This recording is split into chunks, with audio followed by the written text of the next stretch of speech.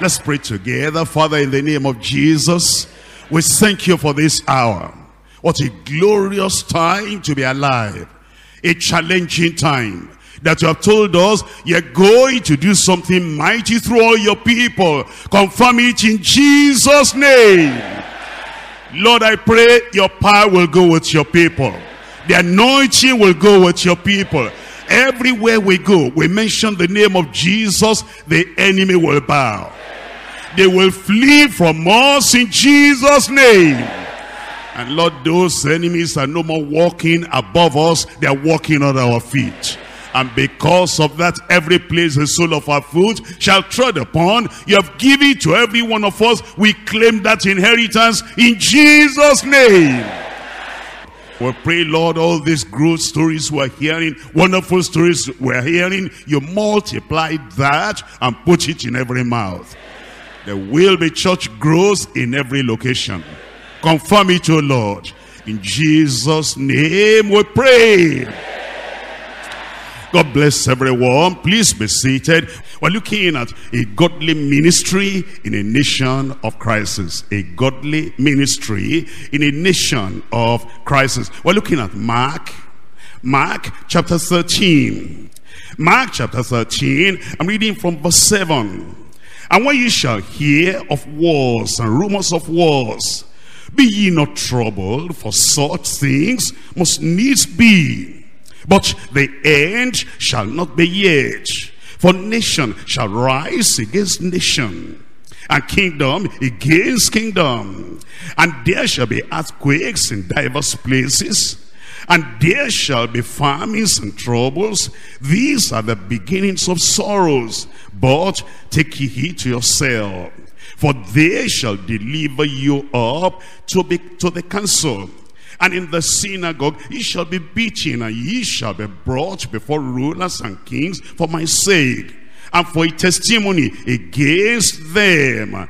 And yet it says in verse 10, the gospel and the gospel must first be published among all nations. It's telling us that even though we may be, you may be in a nation of crisis, you are hearing about this crisis there, and this challenge there, and this difficulty there, and it makes you hard to wonder. And the Lord is saying, even the midst of those challenges, it says that this gospel must be first published among all nations a godly ministry in a nation of crisis. We're looking at three points. Number one prophetic revelation on nations in crisis. Prophetic revelation on nations in crisis. Number two priestly responsibility during national crisis.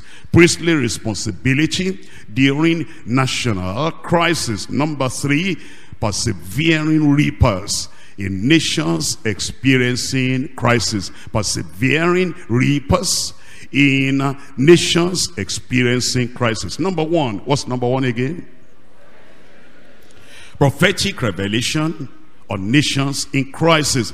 In Second Chronicles chapter 15, Second Chronicles chapter 15, already we've seen in an earlier message as well as even in the passage I read now in Mark chapter 13 that crisis will come to different nations and to different communities. And even though those crises may be there, yet the Lord is telling us it's not something surprising, something that believers of the church that were to worry about because it says it's been revealed already. There's prophetic revelation. And when there are such crises, what actually happens? How do we know that this is what the Lord is talking about? In Second Chronicles chapter 15, reading from verse 3.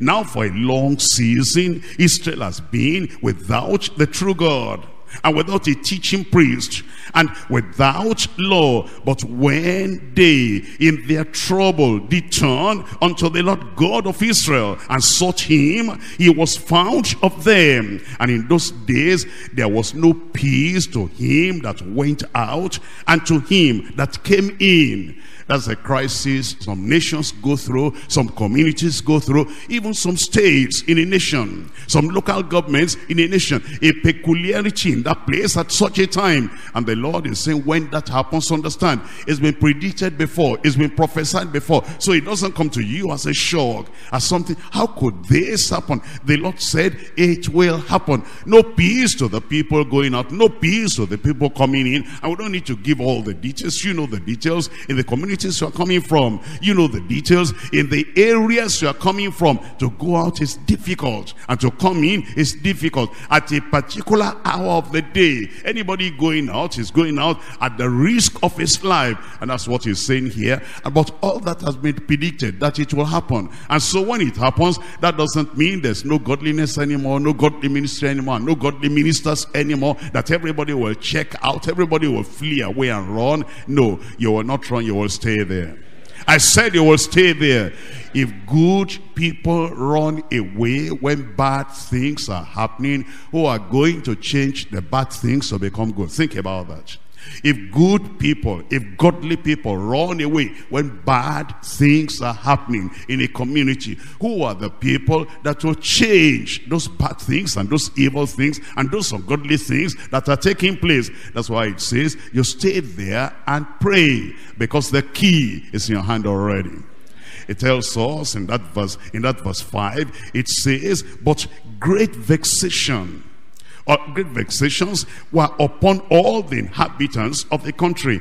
And nation was destroyed of nation. And city of city. That's the predicted thing that will happen in the last days. It happened before. For God did vex them with all adversity. Adversity is multiplying. But then it says, hey, look at this now. It says, Be ye strong therefore, and let not your hands be weak, for your work shall be rewarded. Your work will be rewarded in Jesus' name. And because of that, at that time, now that uh, this man saw that this is a predicted thing, it was prophesied, it was going to happen, and now we have the evidence and we have the reality in our midst. Because of that, he knew it is not the time to run away, it's the time to be there and remain stable, and the work of the Lord will prosper in your hand. Look at verse 12. In verse 12, and they entered into a covenant to seek the Lord God of their fathers with all their heart and with all their soul. Now we understand that God will be with us. He will never leave us. He'll never forsake us. And so when a nation, when a community, when a country, when a local government gets into trouble, the preachers, the evangelists, the intercessors, the prayer warriors, they'll not run away from that place. There must be a godly ministry in that place when all those things, confusing things are happening. And so we come to a covenant. I think we'll come to a covenant today. I said we can come to a covenant today that the earth is the Lord's and the fullness thereof. And when troublemakers arise, when rioters arise, when they arise, and when hooligans arise, and when the people that are bad people, wicked people, sinful people, when they arise and they want to take over the land that belongs to the Lord and the people of God, the people of God will not run away and then leave our property and leave our churches and leave the congregations in the hands of bad people. We're not going to do that. I said we're not going to do that. Let me ask you a question. You're married. You know, you have a good wife, beautiful wife, and this loving wife, and then trouble arises in that place. Will you leave your wife there and then run away? And say, I need to escape for my life. Therefore, I'm running away. Anybody will do that here? Okay, if I find anybody, we're going to take them to the prayer warriors. It needs deliverance. We're not going to do that in Jesus' name. But the bride of Christ, the wife of Christ is there in that location. The church is the bride of Christ. And you are the pastor.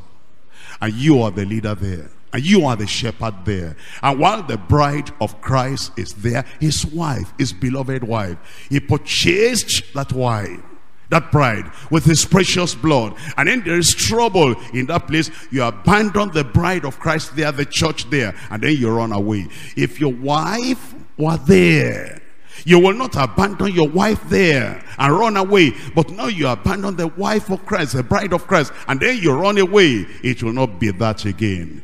You'll stay with the bride of Christ. We are there together. And the Lord will protect his bride. And he will protect the one watching over his bride. It's not a time to run away. It's a time to come to a covenant and say, at this time of crisis, at this time of trauma, trouble, for the people of God, we are here together when the people, the members of the church, when they see their pastor, that the pastor is there, and he says, and they are even advising, pastor, we will manage ourselves. Why don't you go? Say, no, I'm not going. I want to stay with you. It will encourage them. And then you can come together and you can stop that riot. You can stop that evil thing by your prayer because the key is in your hand.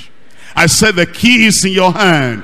Now you think about it another way. If the person that has the key to lock the door against evil, he runs away with the key and the door is open and everybody is making trouble. And we're saying, where's the man that has the key to lock the door against all this trouble? The one that has the key, he has run away. And the Lord says, I give unto the keys of the kingdom, the kingdom of heaven. And he says, whatsoever you bind on earth will be bound in heaven. Whatever you loose on earth will be loosed in heaven. Well, the keys in your hand, you have gone. And when you have gone, who is going to lock the door against evil? We are the people to lock the door against the evil in this land. We're not going to run away for the troublemakers. If anybody is going to run, who is going to run? Resist the devil and he will flee from you. No evil thing will touch your church. No evil thing will touch your location. The key is in your hand. Use that key. You're going to overcome in Jesus' name.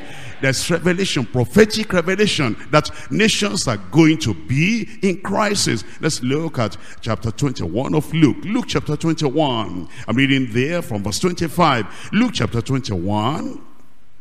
And we're reading from verse 25. It says, And there shall be signs in the sun and in the moon and in the stars and upon the distress of nations uh, nations in crisis. And then it says with perplexity and the sea and the waves roaring men's hearts failing them for fear and for looking at those things which are coming on the earth for the powers of heaven shall be shaken. Uh, that's what we're talking about. Look at it from verse 9 now that same period of time it tells us from verse 9 it says when ye shall hear of wars and commotions, be not terrified, for these things must first come to pass.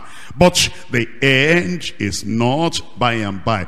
Then shall he, and then said he unto them, Nation shall rise against nation and kingdom against kingdom and great earthquakes shall be in diverse places and famines and pestilences and fearful sights and great signs shall there be from heaven but before all these they shall, they shall lay their hands on you and persecute you and delivering you up to the synagogues and into prison, being brought before kings and rulers for my name's sake. And it shall turn to you for a testimony. Praise the Lord. It will give you more beautiful stories to tell. And you'll be able to tell how God delivered you. How you saw the angel. And the angel came and brought you out of that place and put the word in your mouth again. And say, go. Go back into that same temple. And go and declare everything that you have learned. It tells us in verse 14, settle it therefore in your hearts. Not to meditate before what he shall answer. For I will give you a mouth and wisdom which all your adversaries shall not be able to give say or resist. It has happened already. I say it has happened already. Number two, priestly responsibility during national crisis. Priestly responsibilities during national crisis. As you are writing that down, can I ask you a question? You know, when there is a crisis in any land, anywhere. You'll find that the people were called the Red Cross. The Red Cross that were not there before. What do they do? They come in there. They come in there. And when there is crisis and epidemic breaking out, doctors that were in the land before, do the doctors run out of town? What should they do? They stay. Because if we needed doctors anytime, we needed the doctors normally ordinary times, peaceful times, when there's no problem. But when the problems are there, and then you have this one has been, you know, injured. That one has been injured. That one has been injured. That's the time we need the doctors more. And the doctors are not going to run away. And the Red Cross people, they're not going to run, run away. And the peacekeepers, that's why we need them. And if the keep, peacekeepers were there in that country before, now this is erupting and breaking out. The peacekeepers are not going to run away. We need the peacekeepers at the time when the trouble erupts and breaks out. Well, if we need the Red Cross people, and they don't run away and we need the doctors and they don't run away and then we need the peacekeepers and they don't run away. How about the people that are bringing peace to the land? How about the people that are the peacemakers? How about the children of God? And now about the preachers of the gospel that will show them the way of peace. How you see that doctors are not running away? We are the people to run away. And then Red Cross people are not running away. We are the people to run away. And then the peacekeepers are not running away. And it's the preacher preachers, the missionaries, and the evangelists, and the pastors, and the prayer warriors, and the ministers that are running away, the priests of the Lord running away, it will not be so again. I said it will not be so again because the Lord has given us the peace and the solution to the problems of the people. We will stay with them in Jesus' name. Let's look at Numbers chapter 16. Numbers chapter 16. And you'll see that when anything like trouble or plague or sickness erupts, the priests will have to stay there because the priests that will actually bring the healing and the solution to the problem. In Numbers chapter 16 verse 44. Numbers chapter 16 we're reading from verse 44. It says, And the Lord spake unto Moses, saying, Get you off from among this congregation, that I may consume them as in a moment. And they fell on their faces. And Moses said unto Aaron, that's the high priest, we need the priest at this time. When judgment is coming, the wrath of God is coming, destruction is coming, and people are being destroyed, and they're going to die. And if we don't do anything, if we run away from them, they are forever lost. It says, and Moses said unto Aaron, take a censer and put fire therein from off the altar and put on incense and go quickly unto the congregation and make an atonement for them and for they for there is wrath gone out from the Lord and the plague is begun and Aaron took as Moses commanded and uh, what's the next word what's the next word tell me out loud now, do, do you remember that uh, Aaron, Aaron and Moses, who is older? Aaron, by how many years? By three years. And when God called uh, Moses, was 80. And what was Aaron at that time? 83 and now they've gone beyond 83 gone beyond 90 it's already going already now even more than 100 and we're told and he took the censer and he ran he ran is it away from the congregation Tell me. Tell me again. Tell me out loud.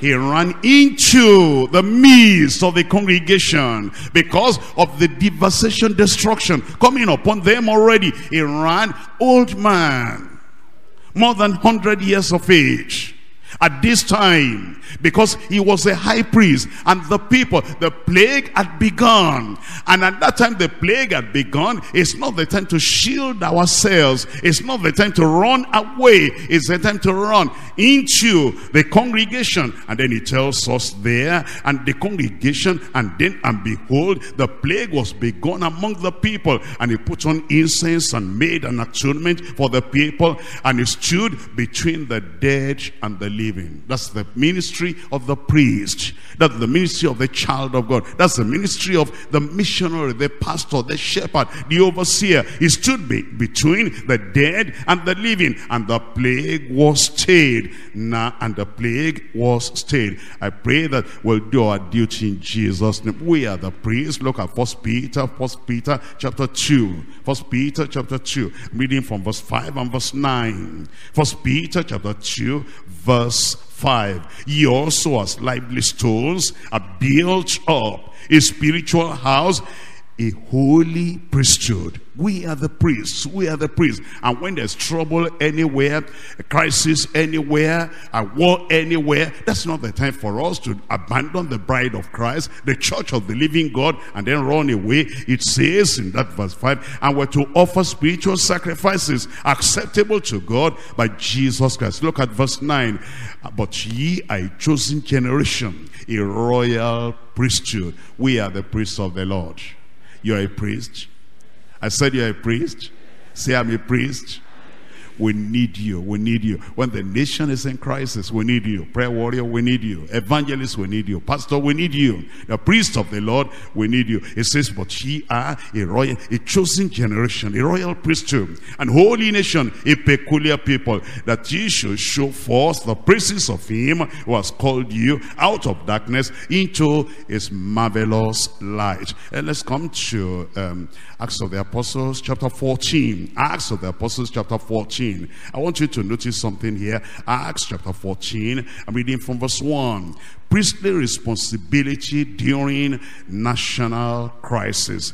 Acts chapter 14. Look at it from verse 1. And it came to pass in Iconium that they went both together into the synagogue of the Jews and so spake so spake, so spake that a great multitude, both of the Jews and also of the Greeks, believed. Verse 2. But the unbelieving Jews stirred up the Gentiles and, and, and they made their minds evil affected against the brethren. Crisis erupted situation changed. Even though many people had believed, the jealous people, they created confusion, commotion for the, eh, for the priests of the Lord, the apostles of the Lord, the preachers of the gospel. It says in verse 2, unbelieving, you stirred them up. And that brought the trouble. Look at uh, verse uh, 3 and give me the first one, two, three, four words. One, two, three, four. One, two, three, four. Read it out. Long time. They have, because of that trouble, because this is the time of trouble.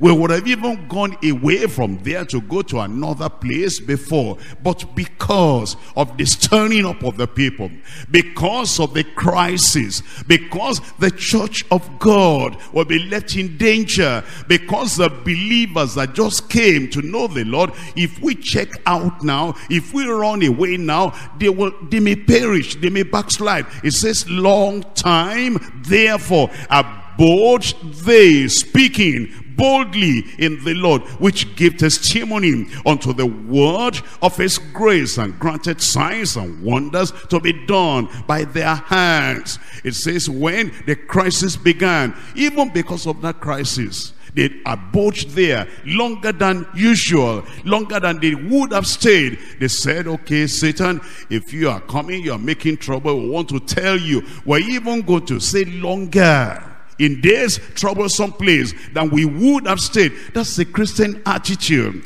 That's the attitude of person having conviction that the protection of the Lord is around us. And the angels of the Lord, they encamp around the people of God and nothing will rise up to hurt you in Jesus' name. We're looking at Acts of the Apostles chapter 18. Acts of the Apostles chapter 18. And here we're told in, uh, let's read from chapter 18. We're reading from verse 6. And when they opposed themselves and blasphemed, he shook his raiment. He shook um, his raiment and said unto them, Your blood be upon your own heads. I am clean, for henceforth I will go unto the Gentiles. And he departed thence and entered into a certain man's house named Justus, one that worshipped God, whose house joined hard very near to the synagogue. And Crispus, the, the chief ruler of the synagogue, believed on the Lord with all his house. And many of the Corinthians hearing believed and were baptized. Then spake the Lord to Paul in the night by a vision. Be not afraid, but speak. Hold not thy peace. There's trouble there. That's why the Lord said, be not afraid. And anytime there's any trouble where you are, the first thing you should remember is be not afraid. Tell me out loud. And you remember the promise of God and the protection of the Lord. And nothing evil will happen to you in Jesus' name. I want to ask you a question. Um, those of us who are here, have you been in any troublesome spot in your country, in the nation before? I said, have you been in any troublesome spot before? Where are you? Ah, and you're still here. And you're still at your duty post and you're still holding on.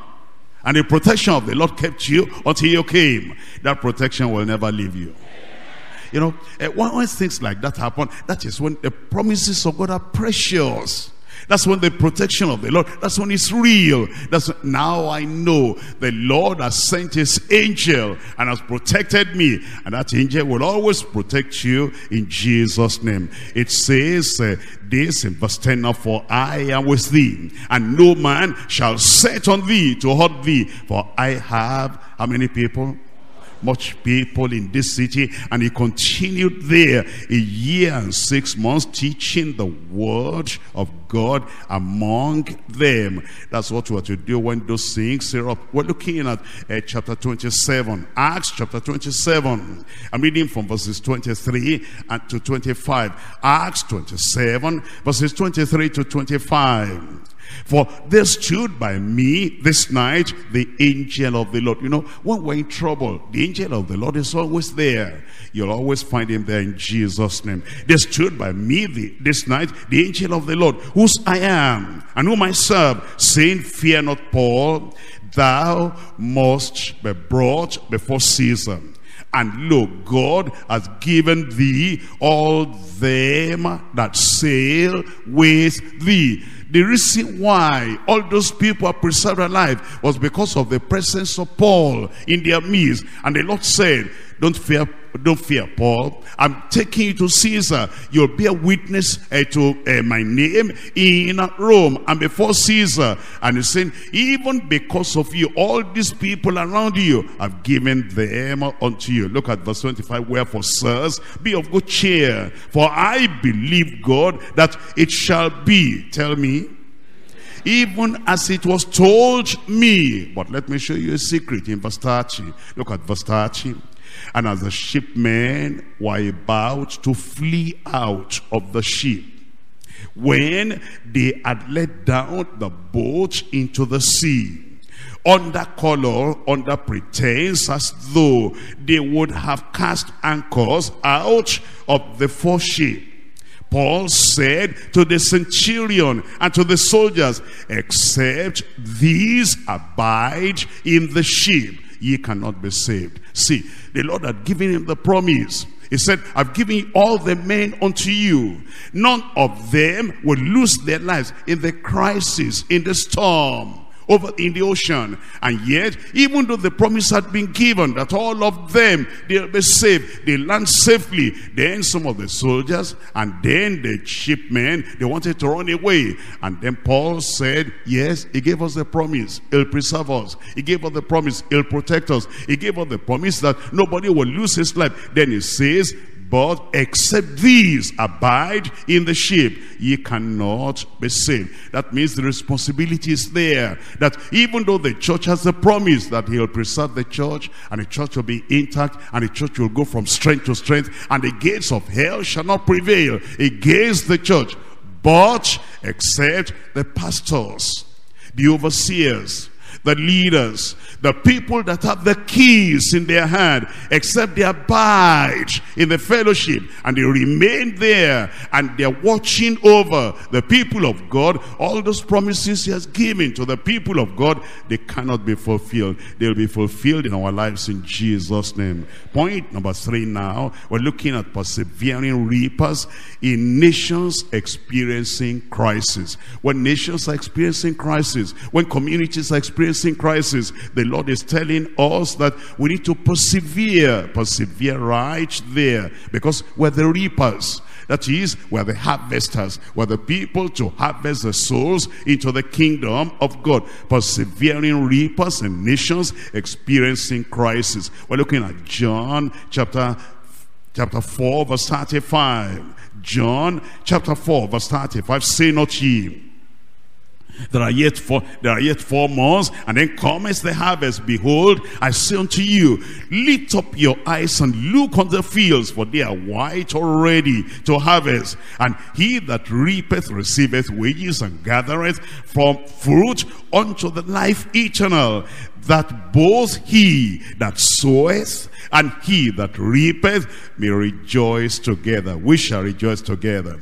And herein is this saying true. One soweth, another reapeth. I send you to reap whereon, that whereon thou bestowed no labor. Other men labored, and ye are entered into their labors. The Lord is saying, we're the reapers. And at the time when the harvest is ripe, and then we're reaping and preaching and bringing souls into the kingdom, that is the time the reapers have to persevere so that the souls that are getting ready to be saved, they will be saved. They will not lose their chance of being born again and brought into the kingdom, harvested into the kingdom in Jesus' name. Galatians chapter 6. Galatians chapter 6, we're reading from verse 9. Let us not be weary, let us persevere. Let us not be weary in well-doing, for in due season we shall reap if we faint not. I will not faint. I said I will not faint. Let's look at Second Corinthians chapter 4. Second Corinthians chapter 4. Persevere. Is not the time to faint when you see all those uh, problems, persecutions, and pressures, and commotions in the land, there's the time to understand you're not like every other person. You're not like every Dick and Harry. You're not like every, every citizen there. You have a special protection upon you. And that protection, you'll experience it in a practical way in Jesus' name. Second Corinthians chapter 4, we're reading from verse 1. Therefore, seeing we have this ministry, as we have received mercy, we faint not. I faint not. I faint not. Verse 16, for which cause we faint not. But though our outward man perish, yet the inward man is renewed. How often? Day by day. There'll be renewal in your life day by day. Verse 17, for our light affliction, which is but for a moment. Have you noticed that these things don't last? They don't last. You know, when they are there, it's like the night of affliction is almost like forever. It's like, when will this end? It will soon come to an end. So it says, for light affliction, which is but for a moment, worketh for us a far more exceeding and eternal weight of glory, while we look not at the things which are seen. Don't look at them. Don't look at them. We're going to have the victory. Look at Jesus Christ. Look unto me, all ye the ends of the earth, and be saved, says the Lord. Looking unto Jesus, the author and the finisher of our faith, who for the joy that was set before him endured the cross. And when you're looking at Jesus and you're looking at the promises of God and you're looking at the things the Lord has given unto you, I believe that you're not going to faint. While we look not at the things which are seen, but at the things which are not seen. For the things which are seen are temporal just short-lived it will soon pass away. And, but the things which are not seen are eternal.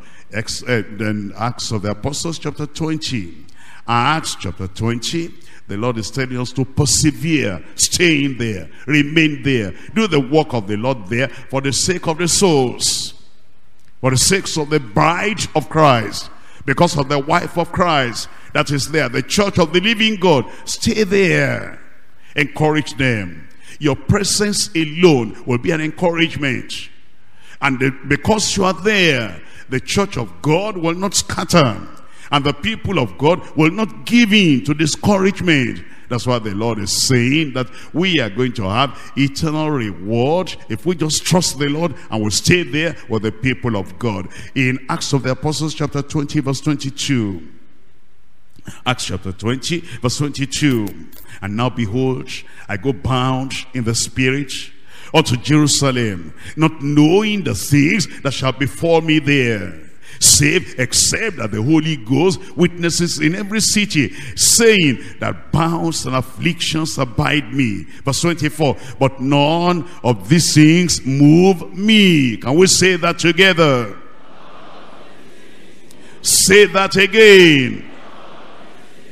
You know what Paul the apostle is saying? I'm not moved by what I hear. I am moved by what I believe. I'm not moved by what I see. I'm moved by what I believe. What I believe is God has a ministry for me here. And because he has a ministry for me here, that is thing that motivates me and moves me. All the other things I see, they don't move me or motivate me or they don't uh, kind of manipulate me to say I'm checking out, I'm running away. You will stay there in the strength of the Lord in Jesus' name. But none of these things move me, neither count I my life dear unto myself, so that I might finish my course with joy. You'll finish your course. And the ministry which I have received of the Lord, of the Lord Jesus to testify the gospel of the grace of God. And now behold, I know that ye all, among whom I have gone preaching the kingdom of God, shall see my face no more. Wherefore, I take you to record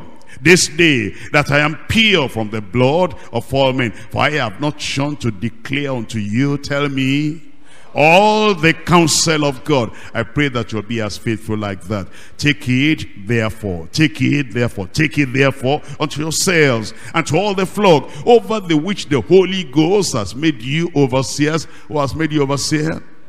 Who has made you pastor? Who has made you minister? Was made a shepherd over those people.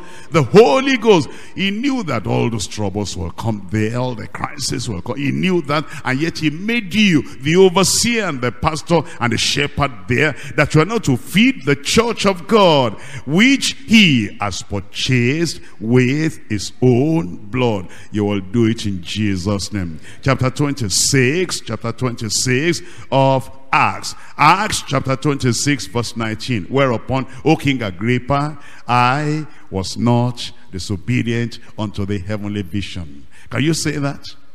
I said, can you say that? I said, can you say that? Every time, will you be able to say that? Why don't you say then? Wherefore, O King Agrippa, I, I was not disobedient unto the heavenly vision what kind of vision do you have? I said, what kind of vision do you have? Heavenly vision. The Lord will carry out in your life in Jesus' name. And then as you abide there, the Lord will watch over you. And then you'll keep on walking while you're abiding there. You know, you use your telephone, you use your email, you use text, you use a lot of things. And then you call some people, they come to your house and you go to them. You go everywhere. And there'll be revival even in that time of crisis in Jesus' name. The promise of God is for those who abide, not for those who flee, not for those who run away. He that dwelleth in the secret place of the Most High. I'm not going to tell you what I'm where I'm reading. If you are a Bible preacher, if you are a believer yourself, find it out yourself.